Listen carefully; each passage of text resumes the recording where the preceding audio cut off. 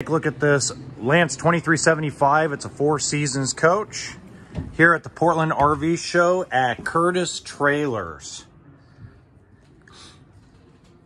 Wow, booth slide, booth dinette, JBL sound system.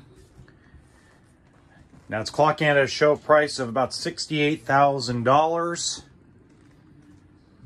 Good size kitchen. Walk around to the front. Walk around queen bed. Good space for a TV. A little, it's not bad. There's a lot of storage in this little trailer.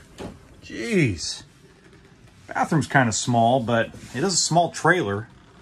Still got the skylight, linen closet. Not bad.